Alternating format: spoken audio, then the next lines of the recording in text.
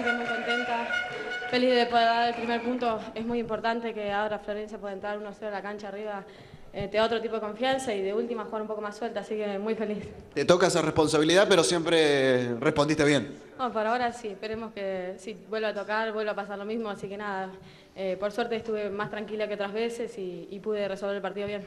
Ayer en el sorteo se confirmaba quién iba a ser tu rival, quizás en la semana todavía no, estaba muy definido. ¿Hubo tiempo para estudiar un poquito quién era Conta o también te dedicaste, como se vio en el comienzo del partido, a hacer tu juego?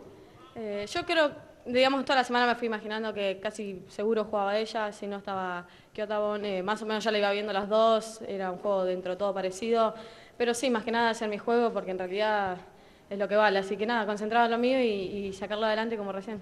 Después del partido de, Florencia, te llega seguramente el, el partido más importante o, o, que todos esperan de la serie. Eh, ¿Qué puede pasar ahí mañana?